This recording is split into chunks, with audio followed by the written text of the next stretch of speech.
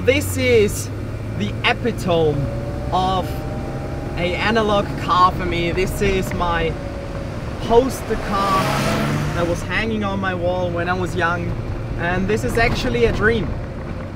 Now it has been awfully quiet around this car for the past few months and turns out it's not that easy to get a car like this registered in Switzerland. Now what do I mean by a car like this? So this 911 is a bit of a Frankenstein. So it essentially is a 911 Carrera 3.2 um, but with the standard engine uh, we do have matching numbers and all these fancy things but at the same time we do have the wide arches in the rear the turbo arches and then again we do have the Carrera wing in the back. So it's a bit of a Frankenstein but let's be honest the prices for the 930 turbos are actually insane. And yeah this was possible for me. This has always been my dream. I always wanted to have a wider looking car. It had to be the color that it's in the Prussian blue looking super sexy in the sun. Uh, it's a bit of a family thing if you have watched uh, oh this is a 993 GT2 as it looks nice one there casual um, so it's a bit of a family thing with the color. If you've watched the video of my 944 first drive of the first 944 that I've owned, uh, there I explained everything. But yeah, so driving this car up here, we are on the hills of Zurich, uh, above Zurich, and uh, little would you know that they actually have really good and twisty roads where you can properly drive this car. Now the project initially was planned to be a six month uh, quick restoration project. In the end turned out to be a full two year project. Uh, we did the entire interior was redone. Uh, we did a lot of rust uh, work because there was a lot of rust damage on the side skirts that was done. Um, a lot of painting. So yeah, initially turned out to take a bit longer. But we do have the classic Momo prototype steering wheel that you have to have on your G-body if that's what you like. And I also have a short shifter in the car. Now, if you've never had the chance to drive a car like this, really an analog car from the 80s, this is a 1986 car with the 915 transmission. So no ABS, no traction control, just 231 horsepower screaming at you. And I have to say, you kind of have to learn how to drive again with a car and a transmission like this because the 915 transmission was a really good transmission back in the days, right? 1986. It was a 911, already a classic back then.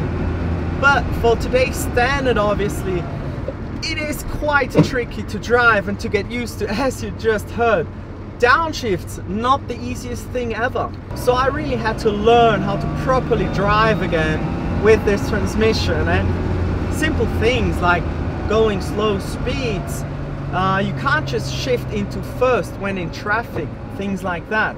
Uh, you always have to stand still and then go into first gear because of how the transmission is set up. And so things like that, that you really have to get used to. And it's sort of like learning how to drive again. But then on stretches like this, on these curvy roads, twisty roads here on the hills, this is really where this car is a lot of fun. The six cylinder engine, super lightweight. Let's get it into second. And then at around 4,000 it really starts to scream when you take it around these twisty roads here super tight actually and you don't even need to go that fast because it's just so pure you don't have power steering but it's not like you would need it at all and I mean the roads around here are just perfect for it Now as you can hear the car is naturally aspirated. Second, ah, it just screams. The brakes are quite alright as well. Now after the 86 car, so pretty much starting from 1987, the 911s came with the G50 transmission. So my car is a late 86 car, so pretty much one of the last cars that was delivered with the 915 transmission.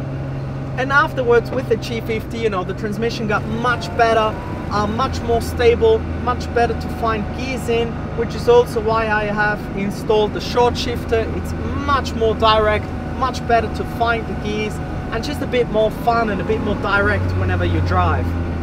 And then from the late 1980s on, we had the 964, and then afterwards the 993. So uh, yeah, obviously the cars got a lot more modern, but this has always been the sort of classic for me, you know, the real driving machine. And it really, really hasn't disappointed so far. But yeah, so I just wanted to make a quick update video. I first drive off this car. Enough talking of me.